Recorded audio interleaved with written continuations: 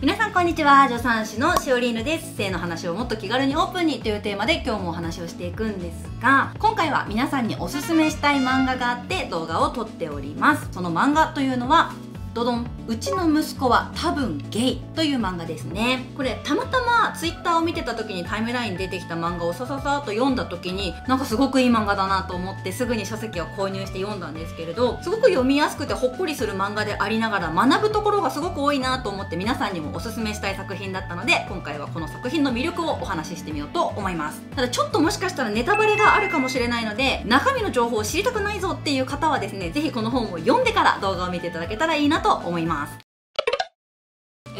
の漫画どういう漫画かっていうとお父さんお母さんそして長男次男っていう4人家族が登場するホーム漫画っていう感じなんですけどこの長男のひろきくんっていう子が多分ゲイなんです。その多分っていうのは実はこの漫画はこの4人家族の中のお母さん視点で描かれている漫画になっていてそのお母さんが長男ひろきくんの様子を見ているとあもしかしてうちの子ってゲイなのかなっていうふうに思っているという設定の中で繰り広げられていく家族の毎日っていうのが描かれてるような漫画なんですね。でこの漫画のすごくいいなって思ったポイントが2つあってで1つ目はこの漫画の主人公がセクシャルマイノリティの当事者ではなくその周囲の人間っていうところなんですね。なんか日本で描かれるドラマとか漫画とかそういう作品の中に例えばレズビアンとかゲイとかトランスジェンダーの方が登場したりする時ってその方が物語の主人公っていう描かれ方をすることが多いような印象があるんですね。でそれに対してこの漫画は終始こうお母さんの視点から見た息子っていう様子が描かれてその息子の様子を見てお母さんが感じることっていうのが丁寧に描かれているのでなんか作品としてはすごく新鮮かもしれないなっていうことを思いました。で漫画の中ではお母さん自身がうちの息子ってゲイなのかもしれないなって思った時になんかそこで感じる驚きだったりとか戸惑いだったりとかでもそのセクシャリティにとらわれずその息子さんっていう人間そのものを広く見ていこうっていう気持ちだったりとかなんかその当事者の方の周囲が感じうる気持ちみたいなものをすごく丁寧に描かれている作品だなっていうことを感じたのでなんか子育て中の親御さんだったりとか学校の先生とかなんかそういうお子さんを育てる立場の方とかいろんなセクシャリティを持ってる人と日常的に接するような人っていうかそんなの全員だけど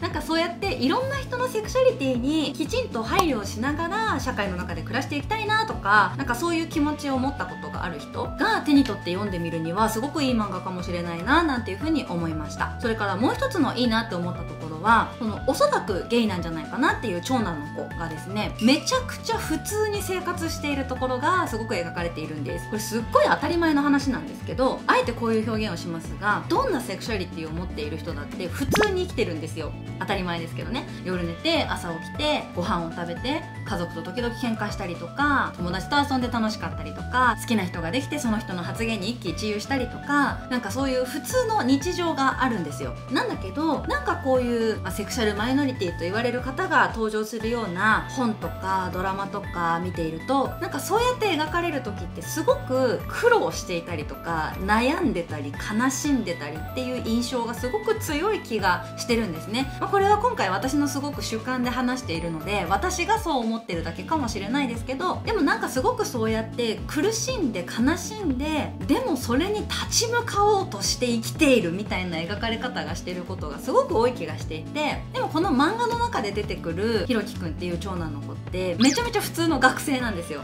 友達と楽しくゲームしてる姿があったりなんかこう思春期だからお母さんと2人で同じショッピングモールに買い物に行くのに電車では隣に座らなかったりとか なんかそういうあ思春期みたいななんか普通の日常がすごく描かれているんです。特別な感じが全然ないというか。なんかそのスタンスがすごくいいなって思ったんですよね。なんかこういうセクシャリティに関する発信とか世の中であるものを見ていても例えば LGBT っていう風な表現をされる場面グループ分けをされるような場面とか想像するとなんかすごくそこに該当するセクシャリティを持ってる人のことを特別視しているなって感じる時があるんですね私は。なんかこの人はセクシャルマイノリティの人だから特別に配慮してあげないといけないとか例えば自分の体の性と心の性が一致していて好きになる相手は異性っていう、まあ、世間の中で見たらマジョリティ多数派なのかもしれないけどそういうセクシャリティを持ってる人たちの方がセクシャルマイノリティの人を受け入れてあげなきゃいけないみたいな。配慮してあげなきゃいけないみたいな発信を見るとちょっとうん？と思う時が私はあってなんか以前にセクシャリティに関するお話をした動画の中でも話してるんですけど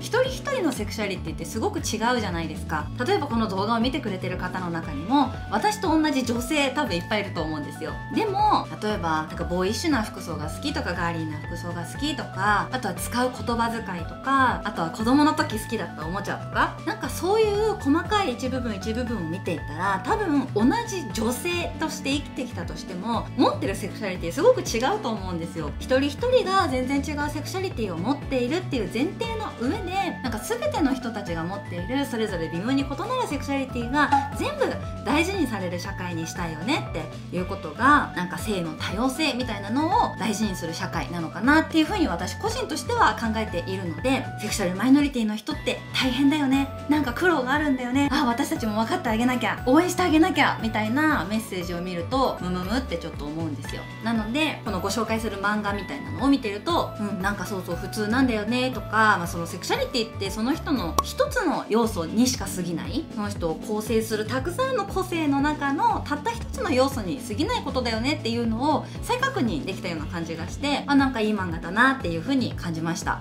で私こういう性教育の発信をしたりだとか、まあ、イベントとかでお話をさせていただくこともあったりするんですけど結構お子さんを持つ保護者の方とか学校の先生とかからもし自分の子供とか自分のクラスの生徒が性的マイノリティだって分かった時どういう対応をしたらいいんですかっていう質問を受けることがあるんですね。で私がいつもする回答としては一人一人によって違うので分かりませんって言っちゃうんです。っていうのも例えば一言でゲイと表現されるセクシャリティを持っている方だったとしてもその方の性格だったり持っている価値観だったりあとは所属している学校とか企業とかの状況だったりによって必要なサポートとかで全然違ってくると思いますし、まあ、その方がそもそもサポートを求めているのかどうかもわからないし例えばそのゲイであるっていうことに周囲が気がついたりもしくはそのご本人がそれを伝えてくれたりした場面でその時にそれを知った人に何を求められてるかってその一つ一つの状況で本当に違うと思うんですよ。で多分それって私みたいな第三者がこれが答えですっていう風に差し出すことは絶対にできなくってやっぱりその状況を共有した本人同士で十分に対話をしたりとかコミュニケーションを取る中で分かってくるものなのかなって思うんですね、まあ、とはいえじゃあ自分がそのセクシャリティいろんな多様なセクシャリティっていうものに対してどういうスタンスを取る人でいたいかなとか、まあ、その多様な性っていうことを尊重する社会を目指そうよみたいに考える人のことを荒いっていう風に言ったりするんですけどなんか自分はその荒いになりうるのかなとか人のセクシャリティっていうことに対して自分がどういう価値観を持ってるかなとか考える時にやっぱりこういろんなスタンスの人の意見を聞いてみるってすごく大事かなと思うんですね。まあ何について考える時もそうかもしれないですけどいろんな主張を持っている人たちがいていろんな価値観を持っている人たちがいてでそのセクシャリティってことに関して語っているいろんな人の声を聞いていく中であこの人にはちょっと共感できるるなとかあこの人のこの部分には共感できるけどここは分かんないわとかもうこの人の言ってることは何も分からないわとか なんかそういうこう人との比較を通じて自分のスタンスが分かっていくみたいなことってたくさんあると思うんですね。なのでなんかそういうこう一つのサンプル集めというか あの参考にする資料集めとしてセクシャリティについて考えてみたいっていう人がこの漫画を手に取って読んでみるっていうのは一つの学びとしてすごくいいんじゃないかなと思ったので今回は紹介をしてみました。ご興味ある方は是非購入して読んでみてください。ということで今回は「うちの息子は多分ゲイ」という漫画を紹介してみました。すごく学びの多い書籍だなと思いましたのでぜひ皆さんも読んでみてください。そして感想をコメントとかに書いてもらえたら嬉しいです。それでは今回の動画はこれで以上にしようと思います。この動画が良かったぞという方はぜひ高評価とチャンネル登録もよろしくお願いします。それではまた次回の動画でお会いしましょう。バイバーイ。